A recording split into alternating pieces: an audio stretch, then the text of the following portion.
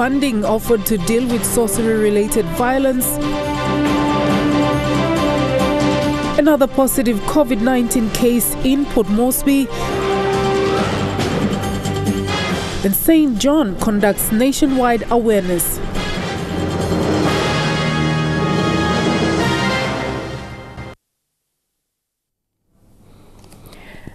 Good evening and thanks for joining me for National EMTV News. I'm Charmaine Poreambeb. In 2015, the Sorcery Accusation Related Violence or SAV National Action Plan was approved by the government with funding of 3 million kina annually. However, no funding was released to the Justice Department until this year. The fight against SAV received a massive boost as the Department of Justice and Attorney General or DJAG signed four agreements to support implementing partners. The Department of Justice and Attorney General is the lead agency for sorcery-related issues in the country. In the past, there has been no formal agreement signed by the Justice Department with implementing partners in regards to the fight against sorcery accusation-related violence yesterday marked a significant milestone as four implementing partners signed these agreements. Now, as you know, uh, the Department of Justice is basically focused on delivering justice. We are not expecting a number of matters uh, that affect the rule of law. MIPLA legally client as well. And so we depend very much on partners. Since the conversation started in 2009, a national action plan was created. In 2015, the government, through the National Executive Council, approved the action plan and allocated some funding to address sorcery accusation related violence. But none of that funding was received by the Justice Department until this year. This agreement now is to implement the component that the government promised in 2015 and work closely with communities who are affected with sorcery related issues. It's the impact that we want to deal with.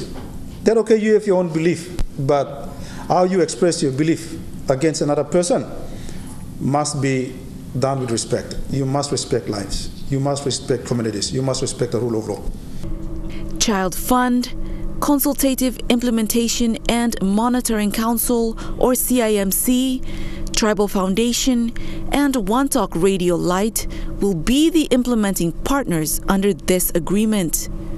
And that's why we're putting resources and effort into trying to address issues that might threaten the safety and security of children. But some provinces that have gone, they have sorcery is not their priority. How can we make that a priority from here? Sorcery is a belief, but the violence associated with the with with, with sorcery is is a crime. Give the Justice Department time to come and talk on air live and uh, address these issues.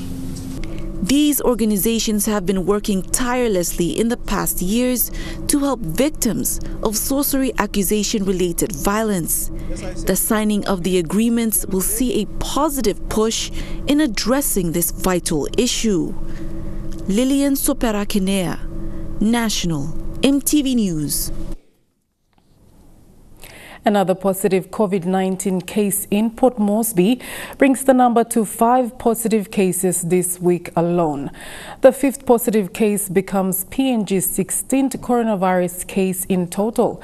While no updates have been given on the recovery process of the three previous cases from Murray Barracks in Port Moresby, Prime Minister James Marape stressed the need for the public to be aware of community transmission.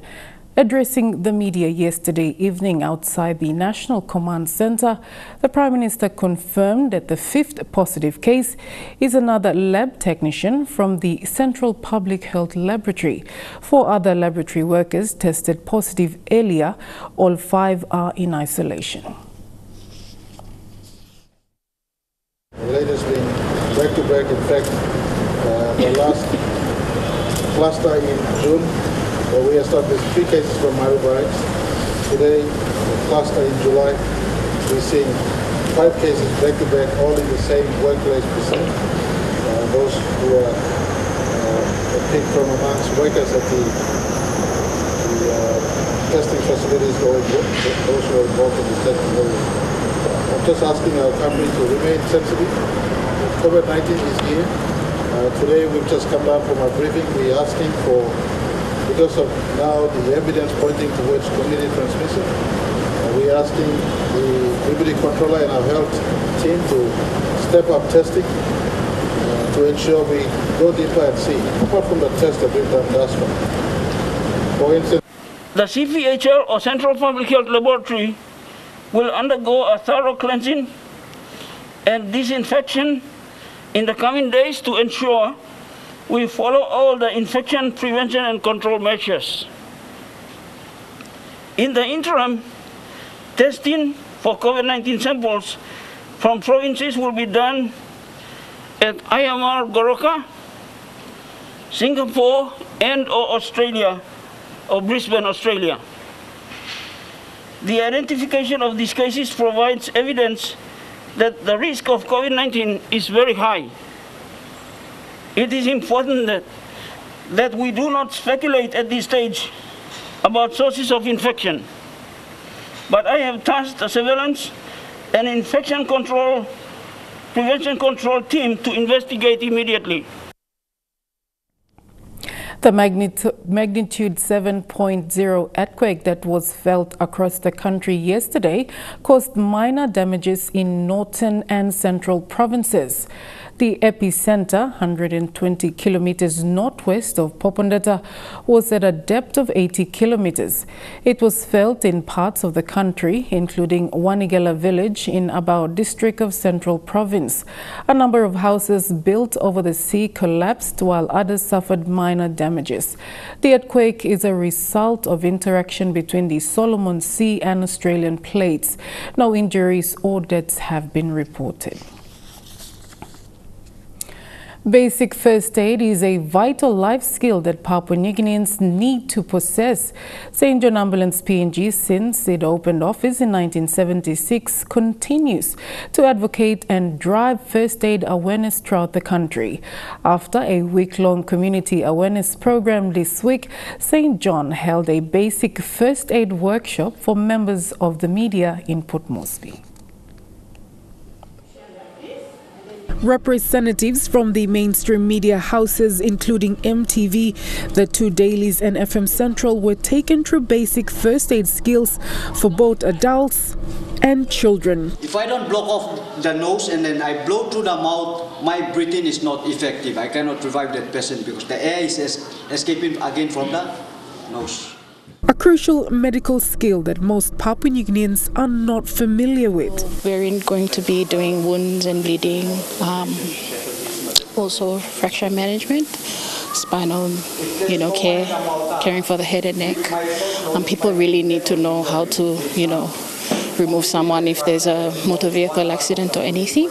We're going to be doing snake bite management because we have a lot of snake bites here in Papua New Guinea. Media plays a vital role in educating the public, and this is one way of teaching them to teach others. EMTV's Kids Corner crew participated in the awareness workshop and was intrigued on the efforts taken by St. John staff when attending to an emergency. Knowing a first aid skill is good like it's a life skill.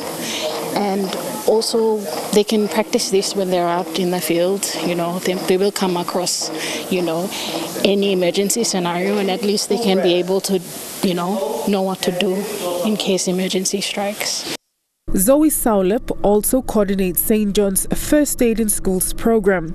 With the support of the Sir Brian Bell Foundation, this program teaches basic first aid to grade 9 students from selected schools in NCD. With St. John already operating in Kokopo, the same concept will be facilitated in schools in East New Britain province.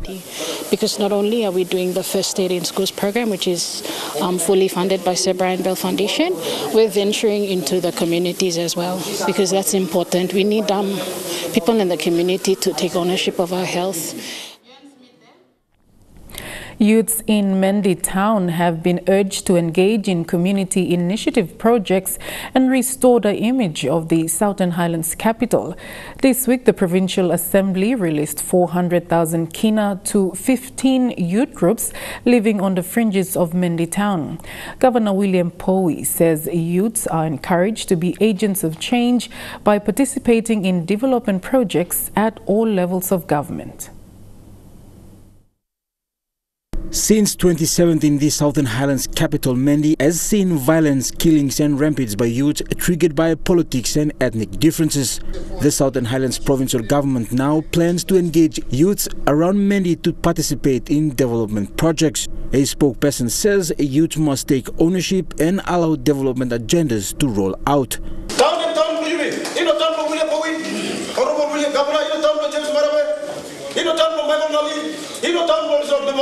Ino tanto Michael Nali, ino tanto Lord Development. Every you na me. Only some me. A sum of 400,000 kina was presented by Governor William Powi and the provincial administration at Iguru Building this week. This money will be shared equally among 15 youth groups established in the Mendi urban area. Governor Powi says youths must be empowered. Some you look look the sun now. Some of my stuff I'm now starting to do small as small as it is, but it will have bigger impact. It depends on you, how you behave. Now, usually it's the 400,000. So I think this is the this is the uh, approach Miblo is taking.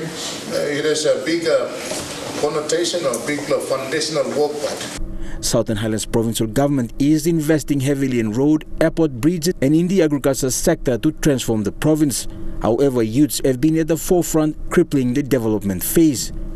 Powi encouraged all youths to be agents of change and see development agendas being achieved. Let the government do its primary and traditional business of service delivery in schools, in health, in education, in road infrastructure, and you, my people, go and work for yourself to put money in your in your pocket so you can liberate yourself from the bondage you are in. Jaglo Pava Jr. National EMTV News. This is EMTV National News. We'll be back with more stories after the break.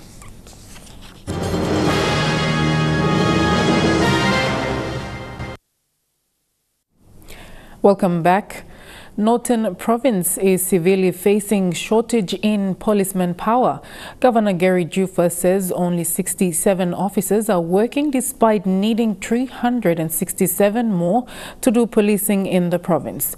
Juffa says police in the province are stretched with capacity issues.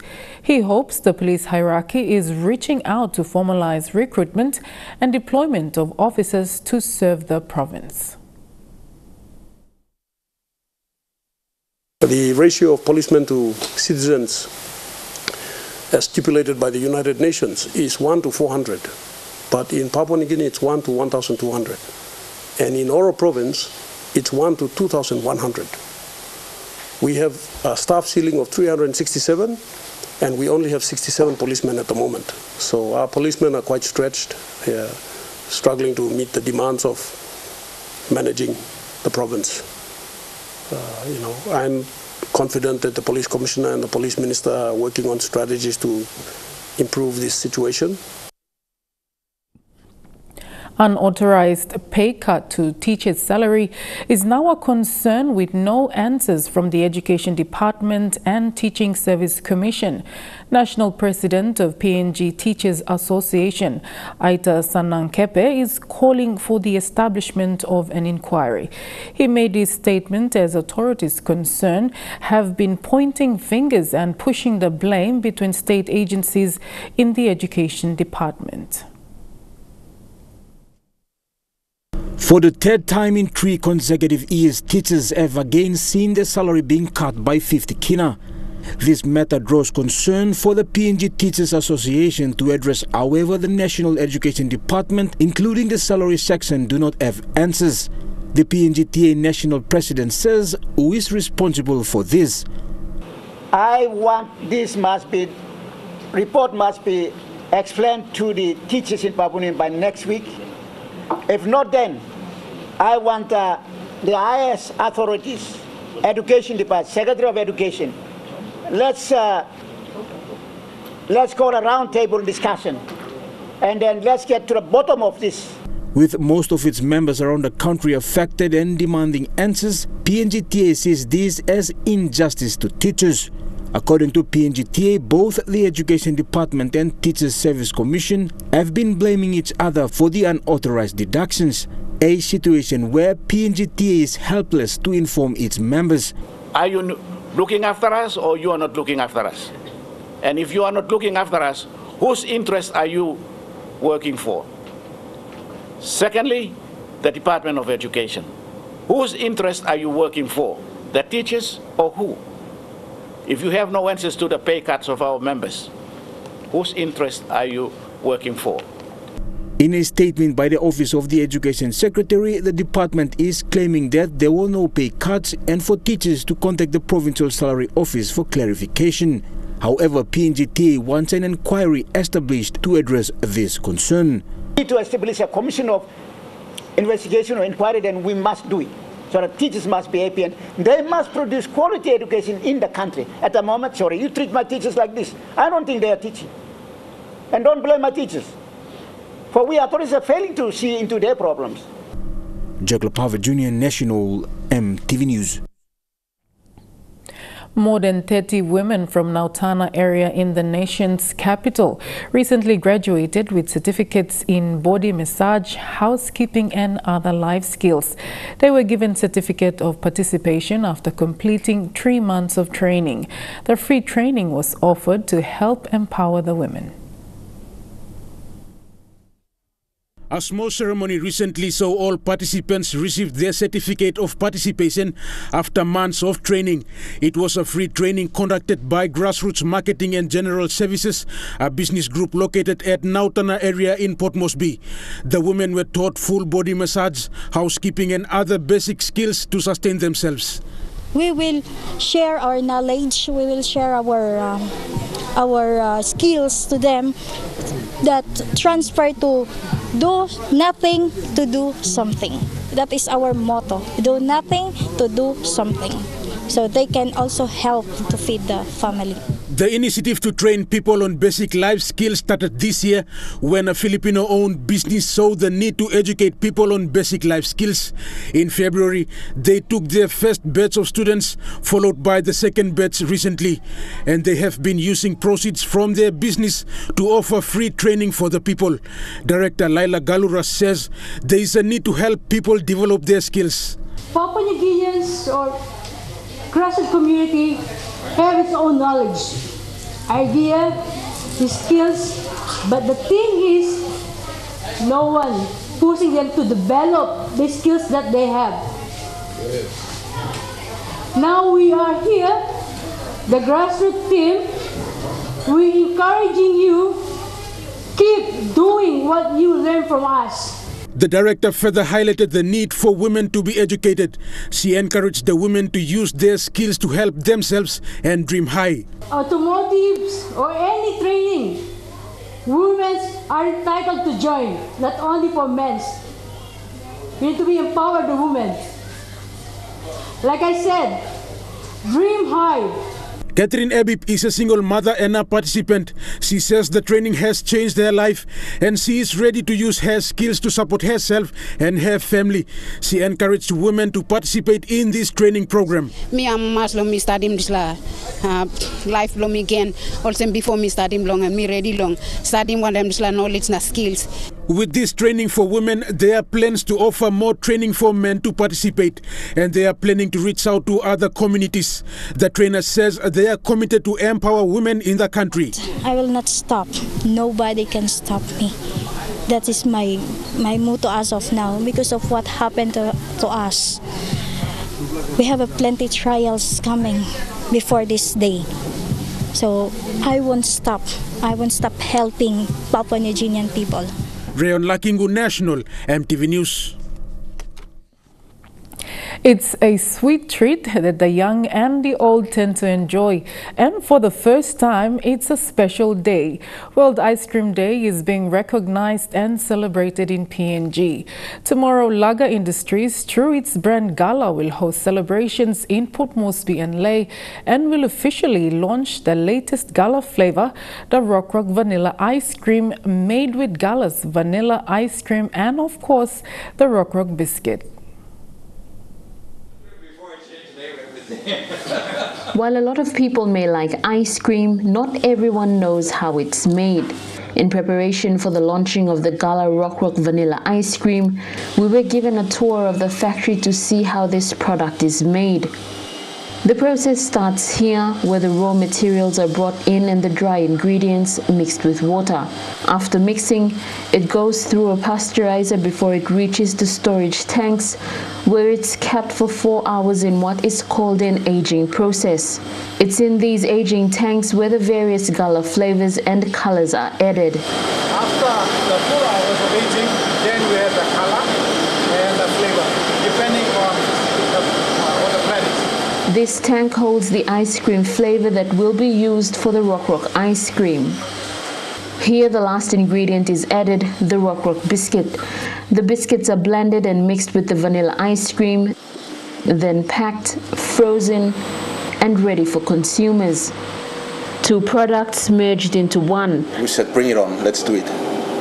Uh, and it took us four different trial runs before uh, we ended up having a product that you've all tasted now and are happy with. It's, it's really exciting to bring this to the to the consumers, and uh, it's a true PNG flavor. You know, it's very unique. It's our own version of cookies and cream, and uh, it's it's all PNG. This product will be launched during World Ice Cream Day tomorrow, which is being recognized and celebrated for the first time in PNG.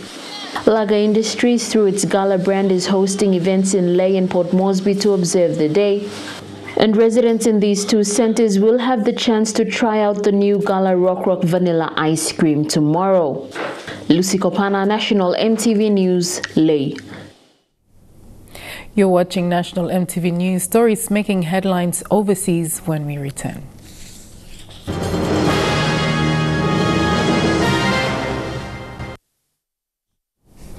Welcome back. Coronavirus cases in Pacific Island countries are low, but the pandemic still has catastrophic effect.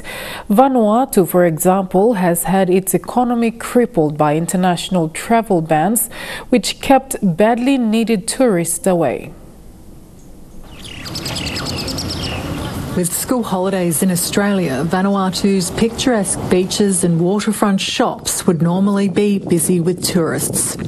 Now the locals have it all to themselves. I can't say that I was prepared for this. I didn't see it coming. Liz Peckins let go of dozens of workers from her five star resort, but they're a fraction of thousands of others. It's been estimated at least 70% of tourism jobs in Vanuatu have been lost. There's a lot of tears from both those that were staying and those that were leaving. Jocelyn Garailulu used to run a successful handicraft stall selling to tourists. I'm a widow and I, I need to keep my family going. My kids need to go to school and we need, to, we need food. Now she also spends her nights selling food. Coronavirus is only the latest in a series of devastating blows for Vanuatu. In April, Category 5 cyclone Harold battered the archipelago. When we were encountered by COVID 19, the economy uh, was forecasted to be around 1.9%. And then with cyclone Harold, uh, you know, hitting Vanuatu, it was further revised to about 0.6%. But tourism will always be a mainstay for this island nation. So for now, there's cautious optimism that there will be light at the end of the tunnel. They'll keep hoping that one day, in the not too distant future, they'll be able to welcome back international travellers. The niece of Donald Trump has given her first interview since writing a damning book about growing up with the U.S. president. Mary Trump says her uncle is unfit to lead and should resign. The family row comes as coronavirus infections in the country continues to surge, surpassing records on a daily basis.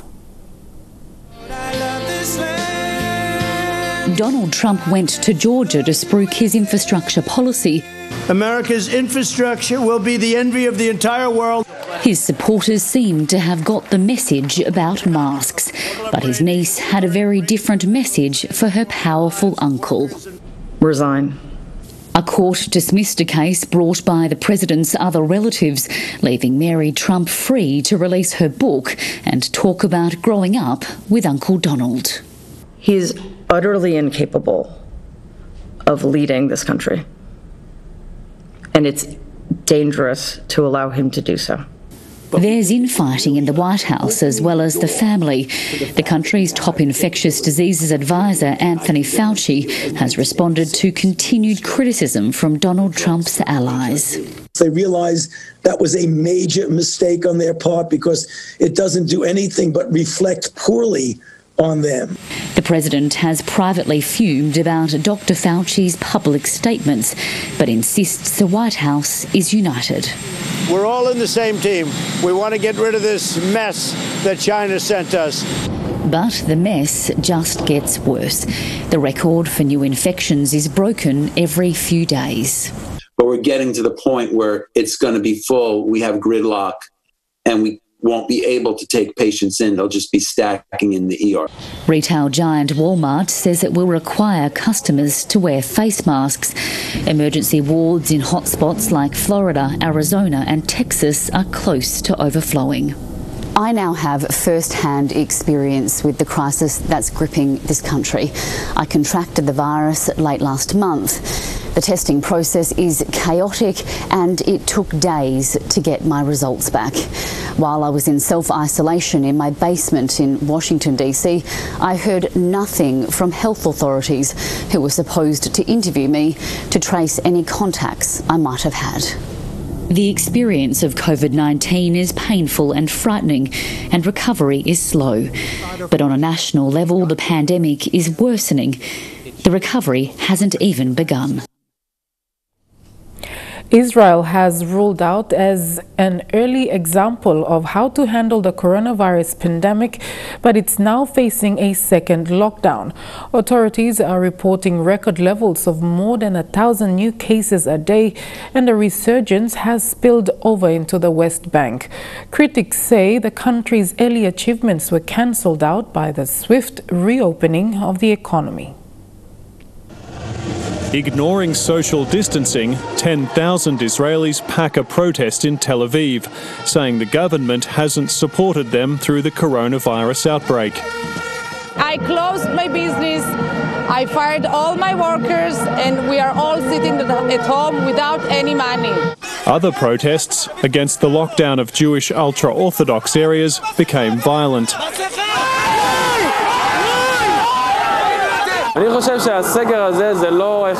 This lockdown is not necessary, and it will actually prompt gatherings of people and keep everyone in one place. Dozens of neighbourhoods have been locked down, and thousands of families are in mandatory quarantine. They are pretty much suffering because the government isn't really um, uh, supplying them with what is enough for living expenses. Nothing. They're giving them, giving them nothing. Many cases are in poor, densely populated Arab Israeli areas, where some residents blame themselves. We must blame the Arab society for the second wave of the outbreak. We saw many people participating in mass gatherings like weddings and festivals. The government has come under fire from its own epidemiologist in charge of public health, who quit last week, saying no one was listening to her. The achievements in dealing with the first wave of infections were cancelled out by the broad and swift opening of the economy, she said. Israel stopped the first wave of the virus with a lengthy lockdown that cost billions of dollars and raised the unemployment rate to 25%. Now, six weeks after relaxing restrictions, the country's in a worse position than it was the first time around. Workers returning from Israel have triggered a similar spike in the occupied West Bank. The Palestinian Authority has locked down major cities there after cases and deaths rose. Torrential rains battered large parts of China, causing the country's worst flooding in decades. The Yangtze River is experiencing record levels of rain, the second highest since 1961. Millions of people have been impacted with at least 140 dead or missing. Raging floods in Anhui province leave drivers stranded. Workers try to fortify this flooded embankment in Jiangxi province. Wuhan city in Hubei, the first epicenter of coronavirus, inundated, and water being discharged from reservoirs like this all along Asia's longest river system, the Yangtze. Water levels of 433 rivers in China have exceeded the alerting height since June. Floods in 33 of them have hit their historical records. President Xi Jinping has called for the greatest efforts to ensure the safety of people's lives and property, but he's also pointed out that the flood control situation is very tough. The army's been called in to help with disaster relief work. These firefighters and volunteers at the intersection of the Yangtze River and Poyang Lake have been working overtime to reinforce the embankment, part of which collapsed due to the heavy rain. Uh, we'll continue to patrol the Dongsheng Dam and protect the dam due to continuous strong winds, high waves, and rising water level. But the work will continue for some time yet. More downpours are forecast in large parts of eastern and central regions of the country. Damage is estimated to be in the hundreds of millions of dollars, adding pressure to an economy already significantly impacted by the coronavirus pandemic. Trukai Sports is next. Kilawani is at the sports desk. Thank you, Charmaine. National Soccer League Board Chairman clarifies window transfer of players. I'll have the details in Trukai Sports when we return. Stay tuned.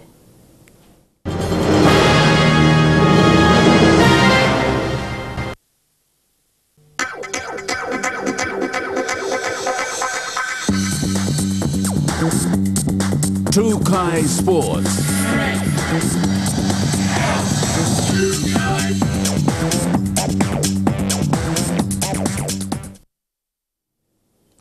Welcome to Trukai Sports. The NSL board opened a third transfer window after considering a number of requests made by clubs seeking a transfer window period to allow for players who have departed due to COVID-19 restrictions to be replaced by new players. Board Chairman Benny Popoitai clarified that transfer window was under NSL regulations and FIFA COVID-19 football regulatory issues. The approval by the Kumul Petroleum National Soccer League Board for a transfer window has caused some confusion among fans as to why there is a third transfer window. NSL Board Chairman Benny Popoitai made clarification on the issue this week. He said the board's decision was done according to the NSL regulations and FIFA COVID-19 football regulatory issues. He said in Article 30 of the regulations governing the National Soccer League competition, it states that there are three local transfer window periods per the regulations. The first window opens one week prior to the commencement of the NSL season. The second transfer window opens one week prior to the completion of the first leg, and the third transfer window is at the end of the NSL season competition. In response to the coronavirus outbreak and its impact on world football, FIFA has announced that the organization is open to flexible transfer window adjustments while recommending the extension of player contracts through to the end of the season. PNGFA acting NSL manager Dimirit Milang said with the competition set to resume on the 1st of August, the transfer window will be for seven days only and will be from the 25th to the 31st of July. He said the board decided to open the transfer window after considering number of requests made by clubs seeking a transfer window period to allow for players who have departed due to COVID-19 restrictions to be replaced by new players.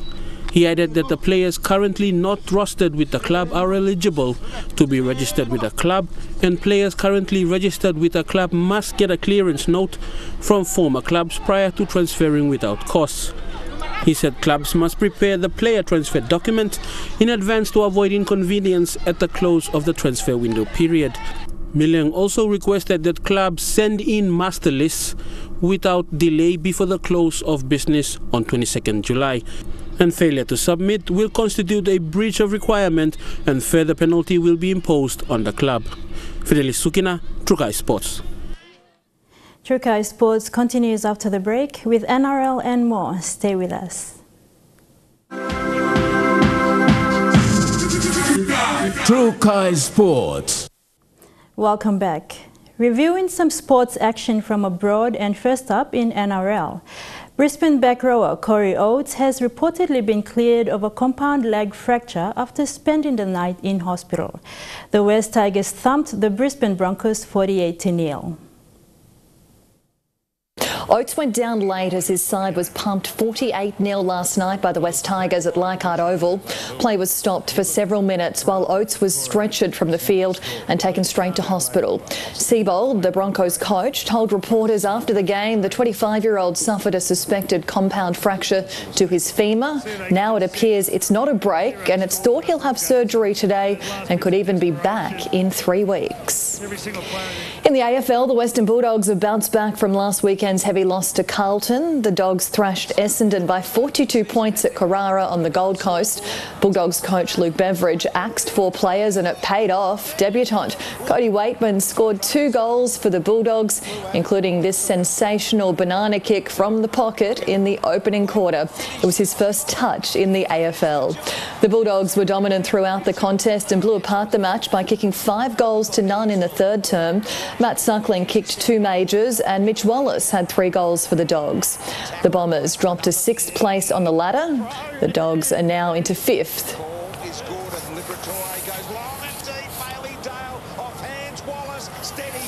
Well, the A-League returned last night and it seems Sydney FC are almost certain to claim a record fourth Premier's plate. The Sky Blues celebrated the return of the competition with a 3-1 win over Wellington Phoenix. Steve Corica's side scored three unanswered goals after Wellington opened the scoring. The win was in front of nearly 1,800 spectators at Kogarah's Jubilee Oval and lifts the Sky Blues 11 points clear of second-placed Melbourne City.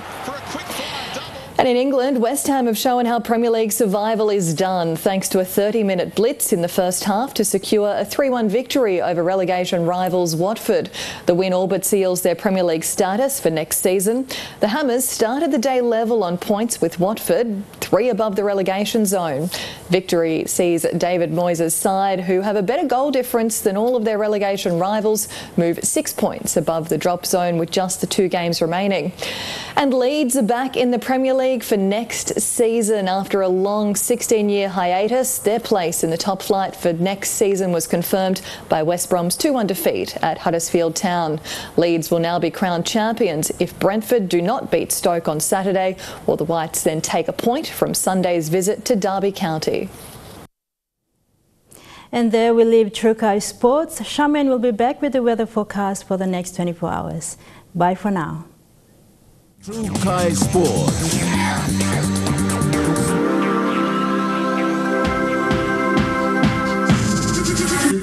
Trukai Sports.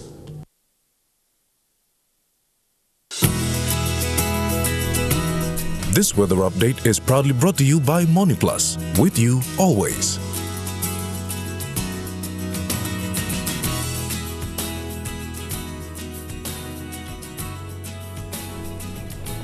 The weather focus for tonight and tomorrow. In the southern region, Port Moresby, cloudy with occasional showers. Kerema and Alotau, cloudy at times with occasional rain and drizzle. Daru, mostly fine, though windy. And Popondetta, mostly fine with possible afternoon showers developing. In Momase, Lae, light rain drizzle clearing, then cloudy with chance of afternoon showers. Madang, occasional cloudy with change of rain showers. Wewak, cloudy and occasional rain showers. And Vanimo, cloudy morning clearing with mostly fine with change of afternoon showers. In the New Guinea Islands, all centers mostly fine with afternoon showers developing. In the Highlands region, all centers morning for clearing with chance of afternoon showers.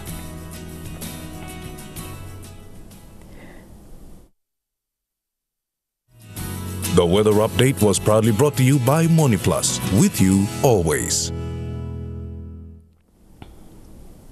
The way it is today, Saturday, the 18th of July 2020, you have a safe weekend. Good night.